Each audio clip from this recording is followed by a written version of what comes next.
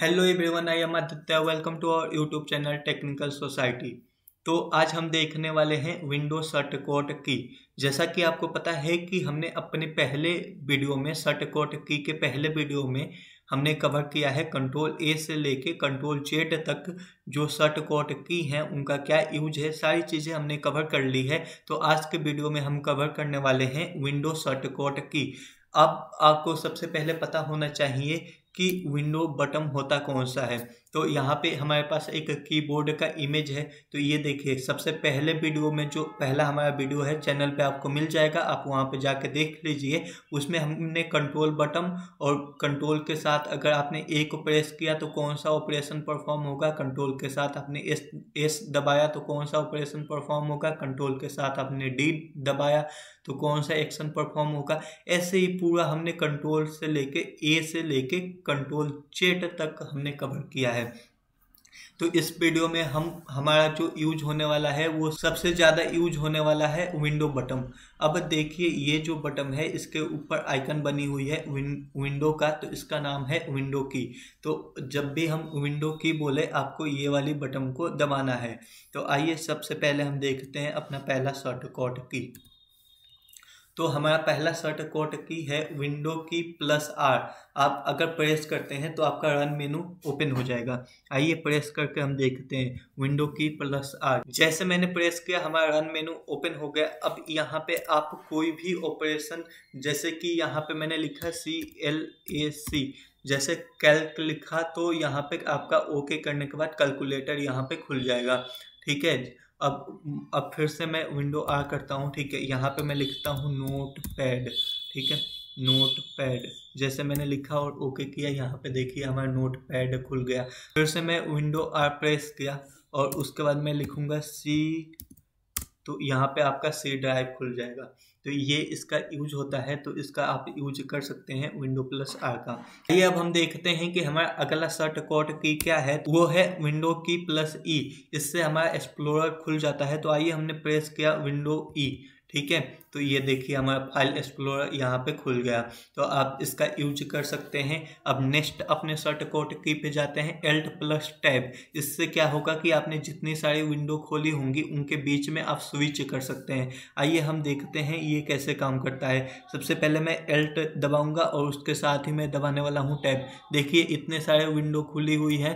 तो अब जो विंडो मुझे खोलना है, उस पर जैसे मैं क्लिक करूँगा, वो विंडो खुल जाएगी। मान लीजिए अभी यही वाली विंडो जिसपे हम हैं, यही खोलना है तो इसके ऊपर मैंने क्लिक किया, यही विंडो खुल गई। अगर आपको कोई दूसरा खोलना है तो आप जिस पे क्लिक करेंगे, वो खुल जाएगी। मान लीजिए इस पे ये खोलना है तो ये खोल दिया, ठीक है? फिर फिर से जिस पे हम थे, अगर वही वाली विंडो खोलना है तो एल्ट प्लस टैब को मैंने प्रेस किया और उसके बाद मैं क्लिक करूँगा पावर पॉइंट पे और ये वाली हमारी विंडो खुल गई फिर से। तो इसमें आप विंडो के बीच में स्विच कर सकते हैं। तो आइए अब अपना अगला शॉर्ट कोड की देखते हैं, क्या है। वो है control plus shift plus E S C ठीक है? तो इससे आपका टास्क मैनेजर खुल जाएगा। आइए हम प्रेस करके देखते हैं control shift E S C जैसे हमने प्रेस किया, यहाँ पे हमारा टास्क मैनेजर खुल गया। यहाँ पे कौन कौन से एप्लीकेशन चल रहे हैं, वो सारी चीज़ें यहाँ पे दिखा देगी यहाँ पे आपका लैपटॉप का परफॉर्मेंस दिखा देगा कि मेमोरी कितना यूज़ हुआ है डिस्क का बता देगा यहाँ पे? आपको वाईफाई की स्पीड बता देगा, सारी चीज़ें आपका यहाँ पे बता देगा, ठीक है? एफ़ हिस्ट्री यहाँ पे आ जाएगी, ठीक है? स्टार्टअप यूज़र डिटेल्स सारी चीज़ें आपको यहाँ पे मिल जाएगी। तो इसकी हेल्प से आप बहुत ही जल्दी टास्क मैनेजर भी खोल सकते हैं। तो अब हमारा अगला सर्ट कोट की क्या है? आइए उसको देखते हैं। विंडो की प्लस डी अब इससे क्या होगा कि हाइड करने का ये काम आता है। तो आइए हम इसको प्रैक्टिकली देखते हैं। तो मैंने जैसे विंडो प्लस डी प्रेस किया, ये देखिए, वो वाली विंडो क्या हुई? हाइड हो गई। ठीक है, चलिए फिर से हम उसको खोल देते हैं। अब अगला अपना शर्ट कोट की पे हम जाते हैं।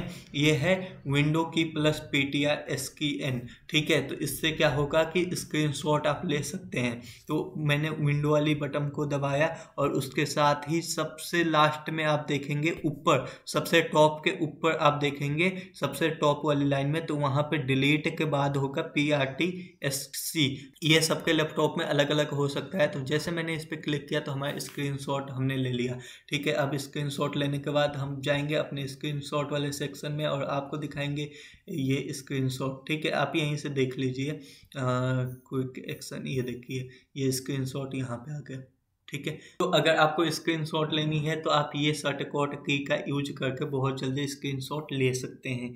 अब आइए हम अपने अगले सर्टिकोट की पे जाते हैं, और वो है विंडो प्लस एक्स इससे क्या होगा? क्विक लिंक मेनू ओपन हो जाएगी।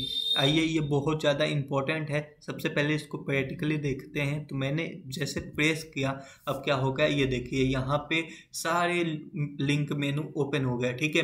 App and feature mobility centre power option event viewer system device manager इस पर किसी पे भी क्लिक करके आप window power shell task manager setting file explorer search run आप कोई भी खोल सकते हैं, ठीक है? यहाँ पे जैसे मान लो मुझे खोलना है क्या?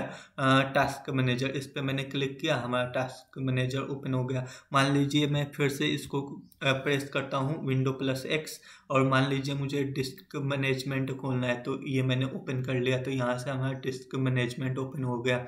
तो ऐसे आप बहुत ही जल्दी अपना एक्शन परफॉर्म कर सकते हैं। आपका बहुत ज़्यादा टाइम भी बचेगा। तो आइए अब हम अपना अगला शर्ट कोट की देखते हैं। तो वो है विंडो की प्लस अप एरो इससे क्या होगा कि जो हमारी विंडो होती है, वो मैक्सिमाइज हो जाती है और इसके बिल्कुल अपोजिट में होता है विंडो की प्लस डाउन एरो इससे हमारा विंडो जो होता है, वो मिनिमाइज हो जाता है। तो आइए अब हम इसको प्रैक्टिकली देखते हैं। तो सबसे पहले मैं बाहर चला जाता हूँ। ये देखिए विंडो प्लस डाउन एरो में प्रेस किया। ये देखिए मिनिमाइज हो गया। विंडो प्लस अप एरो मैंने प्रेस किया। ये देखिए मैक्सिमाइज हो गया। तो आई होप आपको समझ में आ गया होगा कि ये कैसे काम करता है। तो आज के वीडियो में बस हम इतना ही रखने वाले हैं। अब आगे आने वाली वीडियो में हम और ज़्यादा शॉर्ट कोड की लेके आने वाले हैं, जिस, जिसमें आपको बहुत ज़्यादा मज़ा आएगा। तो अगर ये वीडियो आपको अच्छी लगी हो तो चैनल को लाइक, शेयर, सब्सक्राइब करना मत भूलना। बहुत बहुत धन्यवाद।